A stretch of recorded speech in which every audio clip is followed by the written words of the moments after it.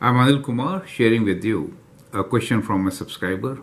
Let me thank all the subscribers and viewers to post excellent questions and watch my videos. The question here is represent the point 3 minus 2 pi by 3 on polar coordinate and convert it to rectangular or Cartesian coordinate. So we are given a point, let's name this point as P as 3 minus 2 pi by 3, right? So, you know, in polar coordinate, normally we'll just refer points with r and theta, where r is the magnitude and theta is the positive angle made counterclockwise, right? Now, if it is negative, that means we are moving from the positive x-axis, which is the initial arm. Let me sketch this and show you what I'm trying to say here. So in polar coordinate, we basically have uh, a point which is called the pole. And uh, the angle is measured counterclockwise, which is positive. If you go clockwise, then it is negative. The magnitude 3 will be represented by the length of the arm. So initially, the arm is along the positive x-axis, let's say in this position. The length of this arm will be 3 if we are locating the point 3 minus 2 pi by 3.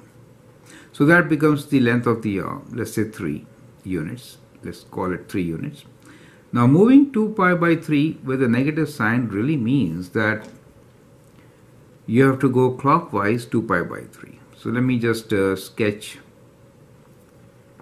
the coordinate plane also and then we will uh, so 2 pi by 3 this is 1 pi by 3 let's say and this is 2 pi by 3 right so somewhere here it becomes 2 pi by 3 same length as 3 so will give us a point P so that becomes the point P, which is 3 minus 2 pi by 3, as you can see here, right?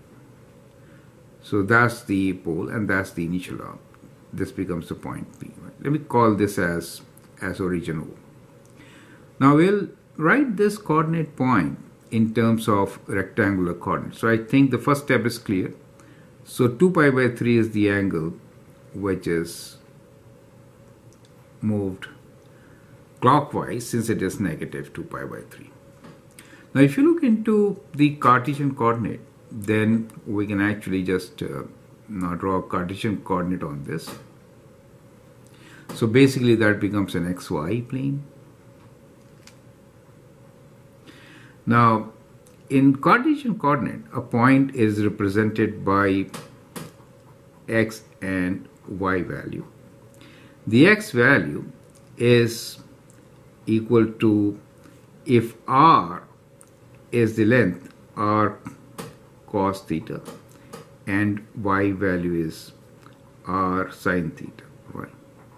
So in our case r is 3 so in our case we have r equals to 3 and the angle theta you could take acute angle also and then make the value negative or you can take minus 2 pi by 3 direct also. So we could write this as 3 cos minus 2 pi by 3 get the value. Similarly for y value we can write 3 sine minus 2 pi by 3. Now I'm not telling you to convert them to acute angle, find the angles and all those things. You could do it direct also. That's the whole idea. Now your calculator should be in radian mode. That is very important. Otherwise you may get a wrong answer. Now let's calculate 3 cos of minus 2 pi divided by 3 is equal to what? You could use special triangles to get this answer. So uh, 3 times cos of minus 2 pi by 3 is minus 3 by 2. So get this value, x value as equal to minus 3 by 2.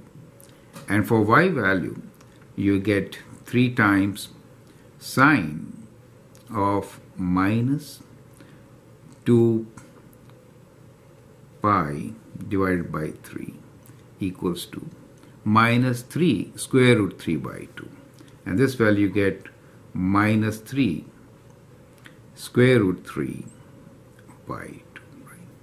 so as you can see both are negative you are in quadrant 3 and that is what is expected and therefore I could write this point as point minus 3 by 2 and minus 3 square root 3 by 2. So that becomes the coordinate point in Cartesian plane. So I hope it is absolutely clear.